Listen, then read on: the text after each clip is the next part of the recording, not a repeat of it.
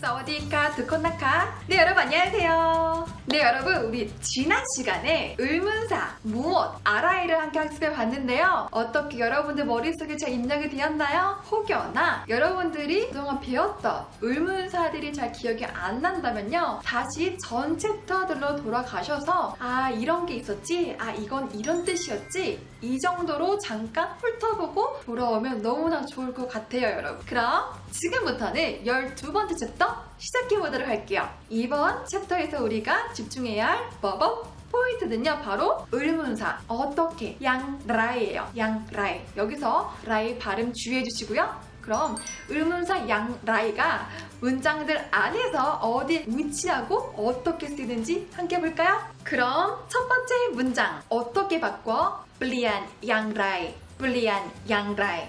블리안 바꾸다.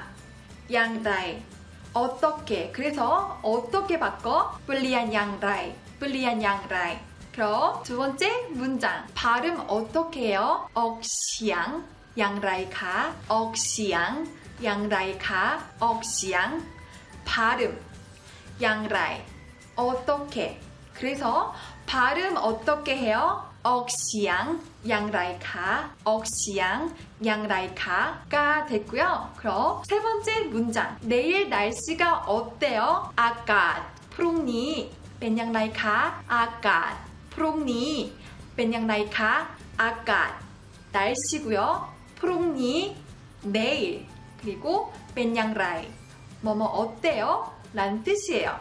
그래서 내일 날씨가 어때요? 아까 프롱니 벤양라이카. 네 여러분 여기서 이 문장 좀 더 자세히 보고 갈게요. 아까 프롱니 이거는 내일 날씨예요. 우리 저번 시간에 태국어에서 꾸며주는 말은 뒤에 위치한다 그랬죠? 단어 뒤에 위치한다고 단어 뒤에 위치한다고 그랬어요. 그래서 내일이 날씨 뒤에 왔어요. 그래서 아까 프롱니가 됐고요. 양라이에서 뭐뭐 이다의 뜻 뺀이 함께 결합이 돼서 뭐뭐 어때요? 라는 질문이 됐어요. 그래서 양 라이는 어떻게 란 뜻이고 뺀이 함께 결합이 되면 뭐뭐 어때요? 라는 질문이 돼요. 그래서 내일 날씨가 어때요? 아까 프롱니 벤양라이카가 됐어요. 그럼 네 번째 문장 태국 음식 어때요? 아한 타이 벤양라이카 아한 타이 벤양라이카 여기도 똑같이 꾸며주는 말이 뒤에 위치해요. 그래서 음식 태국이에요. 그래서 아한은 음식이고 타이는 태국이에요.